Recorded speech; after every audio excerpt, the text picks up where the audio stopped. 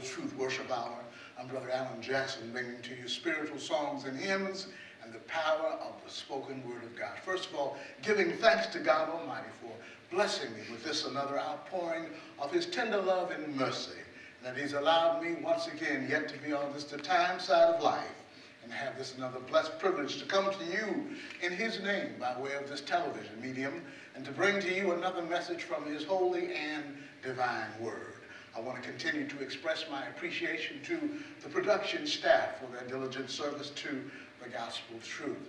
And it's my prayer that God will continue to bless them with those things that he knows that they are standing in need of. And I'm praying on behalf of you, the participants, and those of you who are participating by observing, that God will continue to bless you and your family members with those things that he knows that you are standing in need of as well. And I'm encouraging you to pray on my behalf because I also am standing in need of prayer. It's only God who can provide me with those things that I am standing in need of. And we want to continue to give you an invitation to come out and to be a part of our Gospel Truth Worship Hour. And of course, that's each Sunday evening at 5 o'clock here at 3354 San Pablo Avenue. And we want to continue to express our appreciation to the leadership and the entire congregation for this opportunity to bring the Gospel Truth Worship Hour here. And of course, you're encouraged to come out and study with us on Sunday morning. 9.30, our Bible study begins, and at 11 o'clock, we move into our morning worship. And then again at 5 p.m., we have the Gospel Truth Worship Hour. Midweek service, Wednesday. First one at 11 o'clock, that's an adult Bible class. And then on Wednesday evening at 7 o'clock, there are classes for all ages. So you are certainly encouraged to come out and study with us what thus saith the Lord. We promise to give you only a Bible answer for your Bible questions. All right, and then keeping in mind now that there may be somebody who down on their luck or they're just having some problems. And what I would suggest is if somebody came to you and asked you for some help and you couldn't help them, I suggest that you give them 211. That's a telephone information number, 211. They can call that number and they will get a referral to the services that will provide them relief for what they are standing in need of. Again, 211. All right, also we know that our economy is turning around and a number of people have gone back to work. Yet there are still a number of people who are unemployed. So we want to let you know that you can go to eastbayworks.org, and there you can bring up the uh, one-stop career centers that are near you, and then you can go out and find yourself in a position to obtain a better job or at least a job. You can also come out with resume writing um, techniques and resume critiquing, and you have access to computers and fax machines and telephones, and all those things that will help you to become gainfully employed. Okay? So, Remember, that's eastbayworks.onestop.org. All right, now this evening, uh, we, we are looking at a situation that has occurred here just recently. And all too often now, these things are happening more and more. Satan and the forces of evil have once again lifted up their ugly heads in our society. This particular event cuts to the hearts of all of us. It is heinous because it was directed to the most vulnerable of our society, our children. Amen. And even though this was an horrific event, in this book that I read, it tells me in 2 Timothy, the third chapter, and the verses number 13, but evil men and seducers shall wax worse and worse, deceiving and being deceived.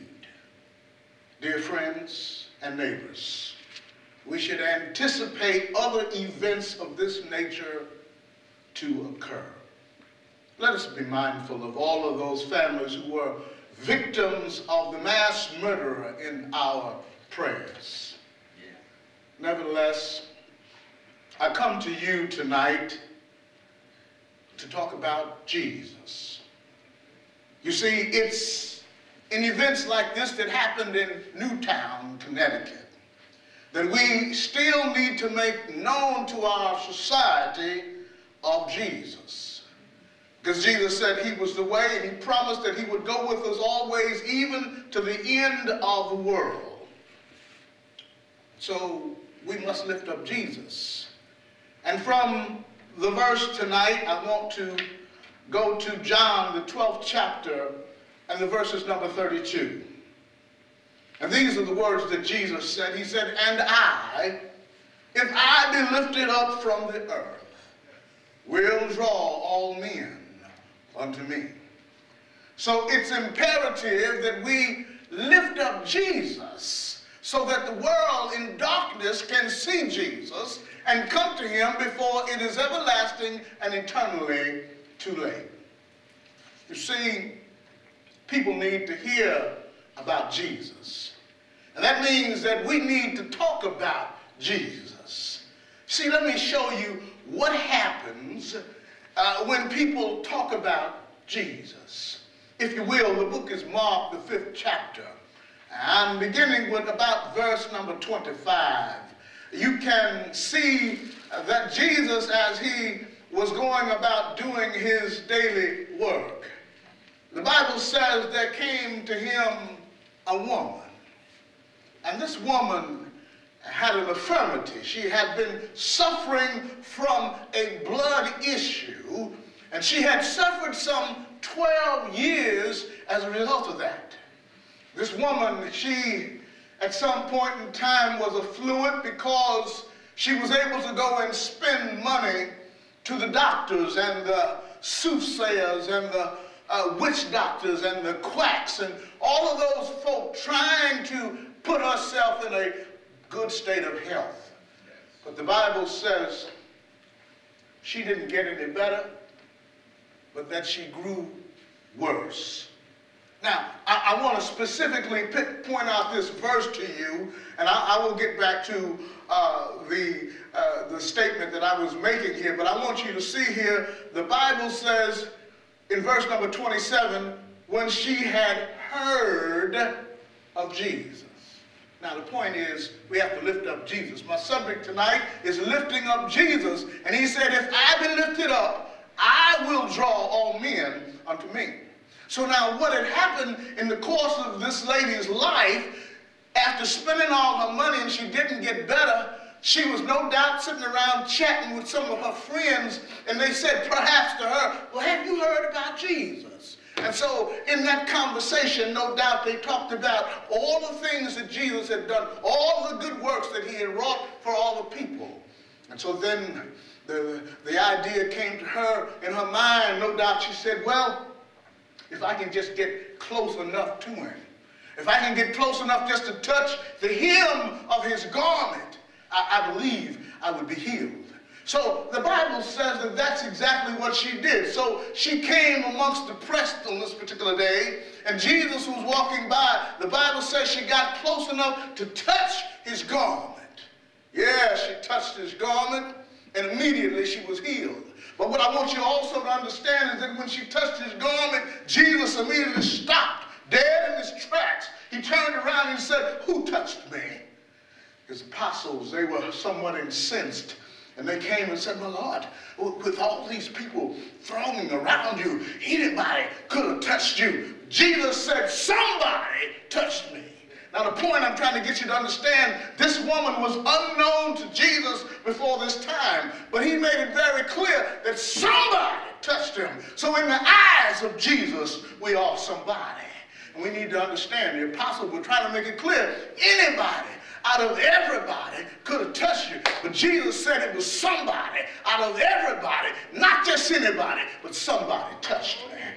And so then we find that in the process, Jesus looked around and this woman, then she realized that uh, she couldn't keep herself from Jesus. And she said, immediately, uh, I touched you. The Lord said, and this is what he said in verse number 30. Jesus immediately knowing in himself that virtue had gone out of him. So when the woman touched his garment, there was a miraculous portion that went out of Jesus into this woman, and he knew that something had happened. He knew that somebody had touched him for a particular reason. That was a touch of faith because the woman said, If I could just touch his garment, then I know I will be made whole. So then as we continue here, this is what the Bible says. Uh, and he looked around about to see her that had done this. But the woman, fearing, trembling, knowing what was done, she came down and fell down before him and told him all that had happened. No doubt she told him, My Lord, I spent all the money. Lord, I, I, have become impoverished. I'm in the poorhouse now because I spent all of my money with these doctors and these quacks, and I didn't get any better. But somebody told me about you, Lord, and I just wanted to touch your garment. And Jesus said to her, Go in peace. He said, Thy faith has made thee whole. Go in peace and be whole of thy plague. Now, the point I'm trying to get you to understand is if we talk about Jesus, just as they had talked about Jesus back then, this woman had the opportunity to hear about Jesus. Remember, he said, And I, if I be lifted up, I will draw all men unto me. So, what's happening today? We're just not lifting up Jesus like we ought to. No doubt if uh, all the preachers, all the deacons, all the elders, if they were involved with lifting up Jesus, then we would see a change in our communities, a change in our congregation. But we have to all get busy. We've got to be on the same page. We have to lift up Jesus. And all the programs that the church is espousing, leadership has to be together so we can collectively lift up Jesus. And then we will see a great difference. We see when we talk about Jesus, we talk about his promises. Jesus said, I'm going to go and prepare a place for you. And if I go and prepare this place for you, I'm going to come again. That where I am, there you may be also. So you need to understand that Jesus has done some things for us. He's doing them for us on a daily basis.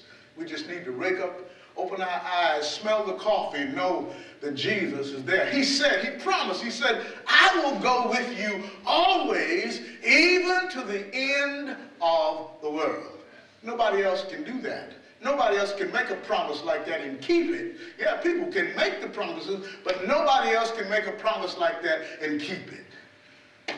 Remember now, Jesus had told his apostles that he was going to go to Jerusalem and he was going to be crucified and, and that he would be buried and that he would raise again on the third day. And yes, we know the story. Jesus went from judgment hall to judgment hall. Before Pilate, then Herod, then back to Pilate then we need to understand that Jesus then suffered a cruel, ignominious death on the cross of Calvary.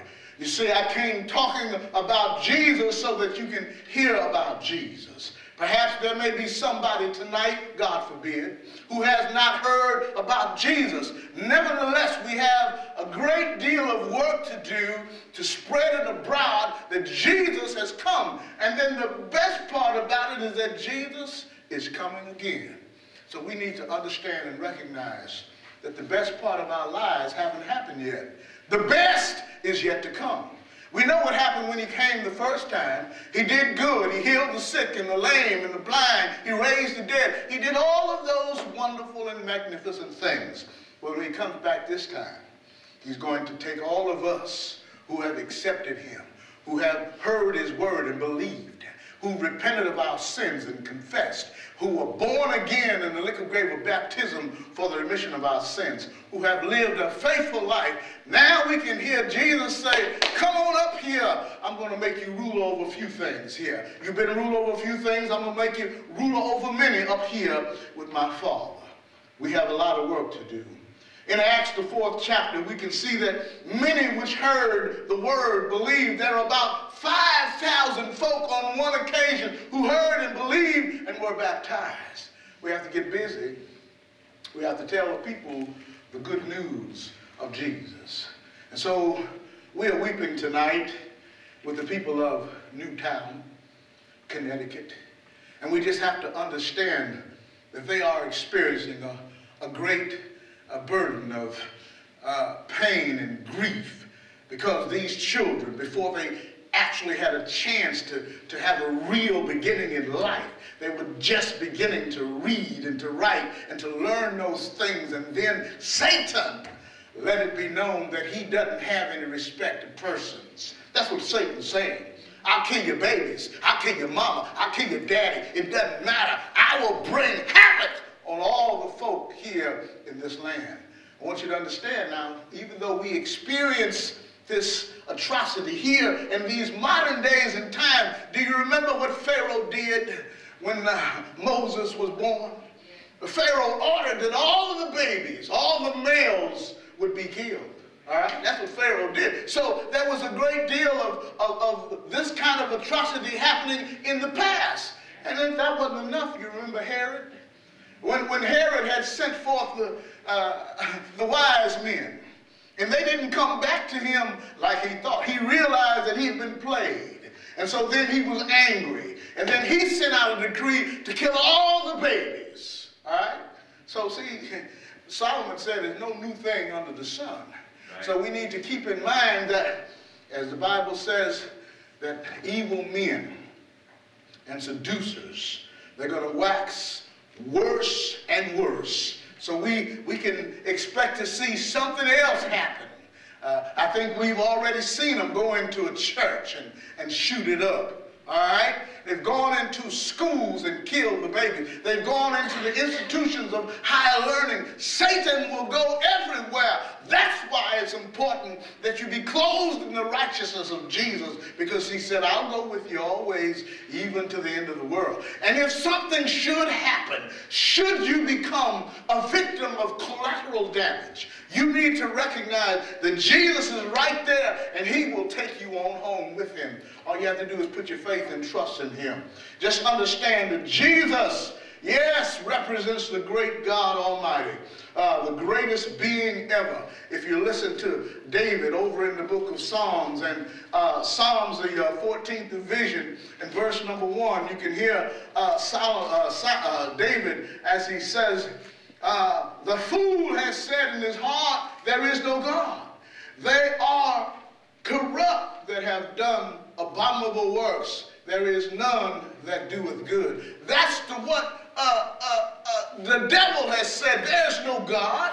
But we know that God is. We can look about in the morning when we wake up, when we see the daylight, the sunshine, when we look out and see the trees and we hear the birds singing and the flying through uh, the skies, we can see the handiwork of God at night when we lift up our eyes and we can see uh, the moon and the stars. We can see the handiwork of God is right there before us. And all we have to do is just look at one another. We can see the handiwork of God. And we need to understand that this thing didn't just happen. No, no, no. People want to say it was a Big Bang Theory. But I came by to let you know that God spoke. And when God spoke, these things happened. In the beginning, he bent down over the mud and clay and he formed a man. And then he blew into man's nostril the breath of life, and man became a living soul. You see, man happened to become the greatest work of God. Now, how would you say that? Well, because the Bible says that God made us in his own image and his own likeness.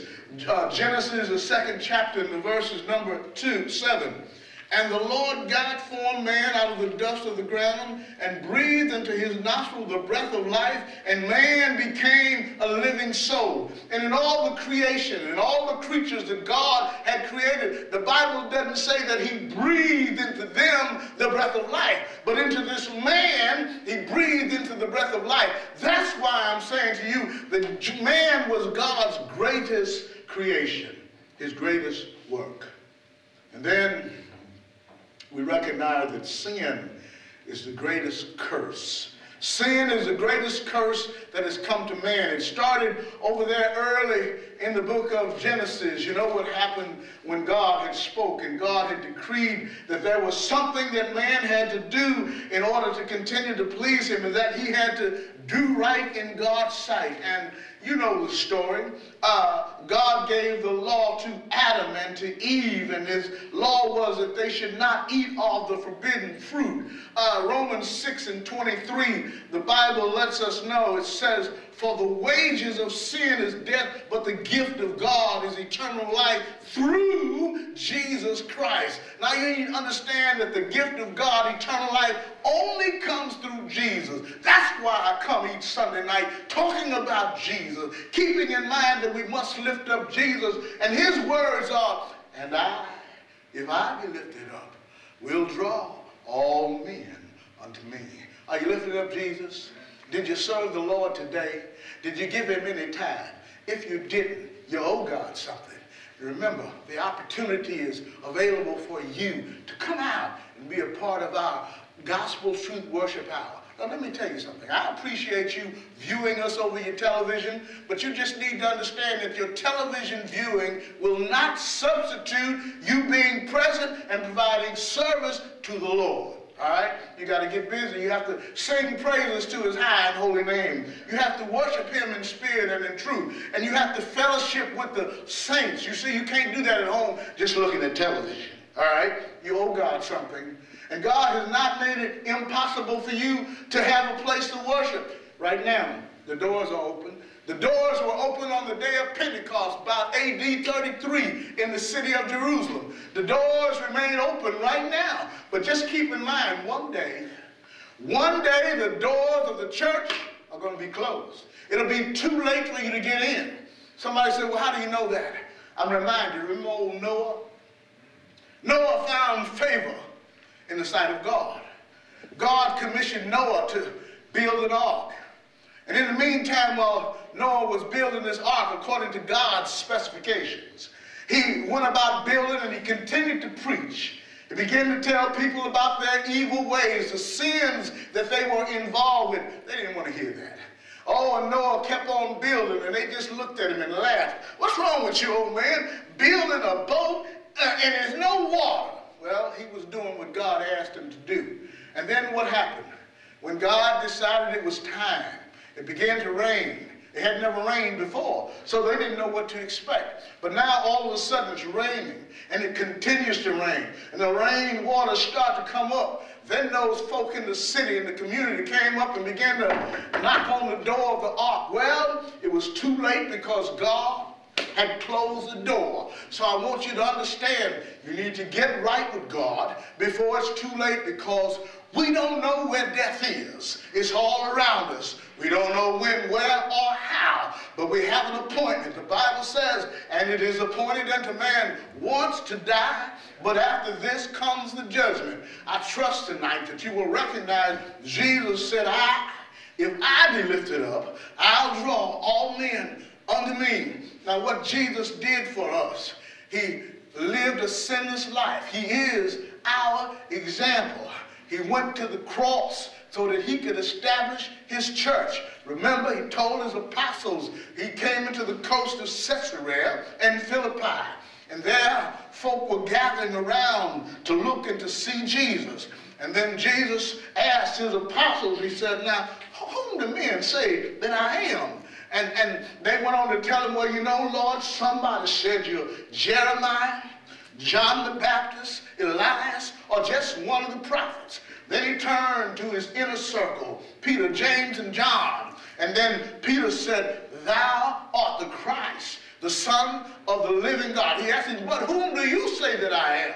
And Peter said, You're the Christ, the Son of the living God. And then Jesus knew he had a witness, and he said, Blessed art thou, Simon Barjona, for flesh and blood did not reveal this unto you, but my Father which is in heaven. And upon this rock, What is the rock? I'm not talking about a stone. It was a hardcore statement. The truth, the absolute truth. Peter said, Thou art the Christ, the Son of the living God. And as a result of that, Jesus said, I'm going to build my church, and the gates of hell shall not prevail against it. It's imperative that we study God's word because we know that there are false teachers and false preachers who are in this world today and they're deceiving folk and they're leading men and women away from the Lord. I trust this evening that you'll recognize the need to get right with the Lord and to be a part of his body, which is his church, because he's the savior of the body.